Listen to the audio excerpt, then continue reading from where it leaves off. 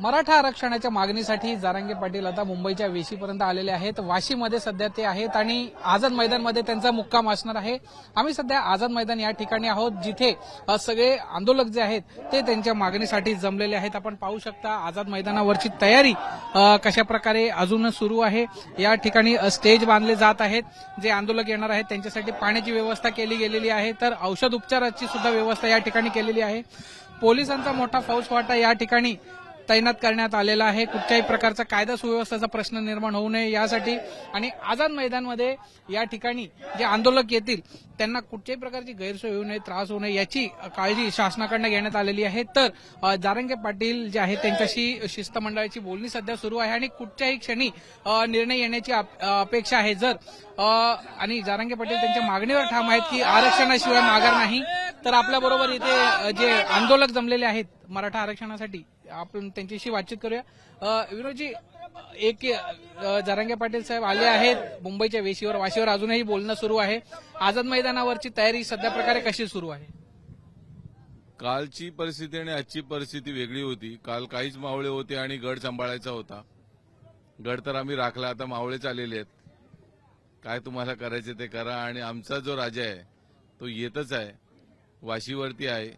मराठा समाजाच्या आरक्षणासाठी लढणारा आमचा सर्वसामान्य घरातला मनोज आणि ज्या पद्धतीने त्यांनी ही लढाई लढलेली आहे आमची मुंबईकर आणि महाराष्ट्रातल्या सर्व तमाम मराठा समाजाची ही इच्छा आहे की आझाद मैदान हे स्थळ अजून एक त्यांच्या उपोषणाचं स्थळ असू नये. हे जे स्थळ आहे ते गुलाल उधळण्यासाठीच मनोदादा इथे आलं पाहिजे आणि त्यासाठीच खरं म्हणजे आज हा समाज इथे सर्व एकवटला आहे. संघर्षाच्या भूमिकेमध्ये आज जवळपास आम्ही चाळीस वर्षे आहोत. पंच्याहत्तरावा हा प्रजासत्ताक दिन आज आहे. आणि अशा दिवशी आंदोलनं करणं निदर्शने करणे सरकारच्या विरुद्ध घोषणा देणे याच्यापेक्षा विजयोत्सव करणे सकारात्मक बोलणं आणि समाजाच्या पुढील वाटचालीसाठी सहभाग घेणं हे आज महत्वाचं ठरेल. म्हणून आज आमची ईश्वरचरणी हीच प्रार्थना आहे की मनोजदादा जरांगे तर इथे येणारच आझाद मैदानमध्ये. पण ते गुलाल उधळण्यासाठी आज इथे आले पाहिजेत. आमची हीच अपेक्षा आहे की इथे आलेल्या तमाम मराठा समाजाने एकमुखी त्यांना पाठिंबा दिलेला आहे. तुम्ही आजही बघू शकता ते जो निर्णय घेतील त्याच्या पाठीमागे आम्ही सर्वजण आहोत. कुठलाही निर्णय त्यांनी घेतला तर त्याच्या पाठीमागे आम्ही आहोत की नाही आहोत आपण? तो जो निर्णय घेतील तो ज्या पद्धतीने निर्णय घेतील कारण तो समाजाचा एक चेहरा आहे. आणि त्या निर्णयावरती कुठलाही प्रकारचा संशय घेणं किंवा त्या प्र- त्यांनी घेतलेल्या एखाद्या निर्णयावरती प्रश्नचिन्ह उभं करणं हे आमचं काम नाही. आमच्या भाऊ आजचा जीव देऊन आज आमच्यासाठी लढतो. अशा वेळी समाज बांधव म्हणून आम्ही पूर्णपणे त्याच्यासोबत आहोत. तो जो निर्णय त्यांनी घ्यावा हा समाजाच्या हिताचाच घेणार निर्णय. आणि अशा वेळी समाज म्हणून एक मुखी आम्ही सर्वजण त्याच्यासोबत आहोत. मनोज दादा तुम आगे बढो. आता सुद्धा एक बैठक सुरू आहे. त्या बैठकीतून काही सकारात्मक तोडगा निघण्याची शक्यता वाटते का तुम्हाला? आतापर्यंत जेवढ्या बैठका झाल्या त्या प्रत्येक बैठकीकडे आम्ही एका सकारात्मक दृष्टिकोनाकडनंच बघत होतो. आम्ही कधीही नकारात्मक बघितला नाही कारण ती एक प्रक्रिया आहे. पण आता निर्णायक स्थितीला आपण आलेलो आहोत. एका निर्णायक जी गोष्ट आहे ती आज होऊ शकते. मला माहिती नाही राज्य सरकारने काय त्या जी आरमध्ये लिहून पाठवलेलं आहे कारण प्रसारमाध्यमाच्या माध्यमातूनच आम्हाला माहिती आहे की तीन जी आर पोचलेले आहेत.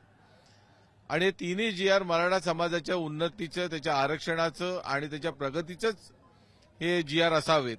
आणि जे सर्वसामान्य मराठा समाजाला मान्य असावं आणि मनोजदादांनी ते मान्य करावं हीच अपेक्षा आम्ही ठेवून आज इथे सर्व आम्ही उपस्थित आहोत. आमचं काम इथे शिलेदारासारखं आहे हे गड राखण्याचं आहे इकडे काम बघण्याचं आहे. निर्णय त्यांनी घ्यायचा आहे. समाज संपूर्णपणे आम्ही तुमच्यासोबत आहोत. एक मागणी त्यांच्याकडनं केली जाते की ओबीसीतून आरक्षण देण्यात यावं आणि ते हे व्हावं. पण ओबीसी समाजाचा कुठेतरी याला विरोध आहे आणि त्यांनी सुद्धा आता घोषणा केली आहे की असं जर झालं तर ते सुद्धा मुंबईत येऊन आंदोलन करतील. मी मगाचपासून तेच सांगितलं की ओबीसी मधनं मराठा समाजाला आरक्षण मिळालं पाहिजे हीच मागणी आहे. आणि त्या संदर्भावरती आपण सर्व आज आंदोलन करत आहोत. आज मनोजदादा जरांगे जे आंदोलन घेतलेलं आहे ज्या पद्धतीने त्यांनी मागण्या पुढे रेटलेल्या आहेत चोपन्न लाख नोंदी ज्या इतके वर्ष समाजाने लपवून ठेवलेल्या होत्या समाजाच्या लपवून ठेवलेल्या होत्या त्या त्यांनी उघड केल्या. लाखो लोकांना सर्टिफिकेट्स मिळतात परिवाराला त्याची मदत होते. आणि अशा परिस्थितीमध्ये ज्या भूमिकेमध्ये आज मराठा समाज आलाय कारण आतापर्यंत आम्ही कुठल्या भूमिकेतच नव्हतो. जे पाहिजे ती भूमिका राज्य सरकार आमच्याबद्दल घ्यायची जसं पाहिजे तसं आम्हाला लाथाडायची पण आज जी वज्रमूठ पुन्हा एकदा मनोज जारंगेच्या रूपाने आज आम्हाला जी मिळालेली आहे ती वज्रमूठची ताकद जी आहे ती एक विश्वासाची ताकद आहे. त्यामुळे आम्ही पहिल्यापासून तेच सांगतोय की जो निर्णय मनोज आता घेतील आरक्षणाच्या संदर्भामध्ये सवलतींच्या संदर्भामध्ये आणि मराठा समाजाच्या उत्कर्षासाठी त्याच्यासाठी समाज संपूर्णपणे त्याच्यासोबत आहे. पोलिसांशी आता तुमची एक बैठक झाली त्यांच्याशी काय बोलणं झालं नेमकं? मुंबईमध्ये ज्या पद्धतीने आज हे मोर्चे आज येत आहेत त्यांचं एक नियोजनामध्ये त्यांचा असा भाग होता की गाड्या ज्या आहेत त्या इथपर्यंत येतील. पण गाड्या इथे आपल्याला पार्क करता येणार नाही जास्त वेळ. त्यामुळे पार्किंगची व्यवस्था त्यांनी केलेली आहे. त्यांचं म्हणणं असं आहे की इथे सामान सर्व उतरवलं जावं. माणसं उतरवली जातील. पण पार्क पार्किंगसाठी जी जागा त्यांनी सुनिश्चित केलेली आहे तिथपर्यंत गाड्या जाऊन पुन्हा पार्क होतील. आम्ही त्यांना सांगितलं की याच्यामध्ये तुम्ही शटल बसचा उपयोग करा. की माणसं जर तिथे गेली तर ती चार किलोमीटर चालत येऊ शकत नाही. बीएसटीच्या बसेस तुम्ही लावा. माणसं तिकडनं बीएसटीच्या बसमधून इथपर्यंत येतील जेणेकरून कुणालाही त्रास होणार नाही. सामान्य जनतेला कुठल्याही प्रकारचा त्रास होऊन देऊ नका हे मनोजदादांनी मला पहिलं सांगितलं होतं. त्या पद्धतीने रूट पण जेवढे चेंज करावे लागले तेवढे त्यांनी आतापर्यंत केलेले आहेत. याच्यापुढे देखील आम्ही हेच आहोत की आम्ही पोलिसांच्या सहकार्याच्या भूमिकेमध्ये आहोत. आपले समन्वयक आपले कार्यकर्ते तिथे आपल्याला दिशा दाखवण्यासाठी असतील. तुमचं फक्त एवढंच काम आहे जे दिलेले जे मार्गदर्शन असेल ते पाळावेत.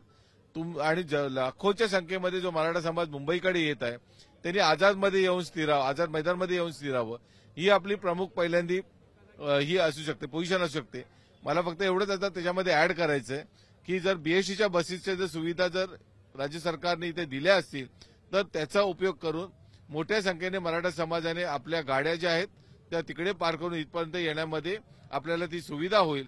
अन्यथा आपण आलो तर आपल्या मागून येणाऱ्या ज्या आपल्या समाजाच्या गाड्या असतील त्या कुठेतरी रस्त्यात अडकतील.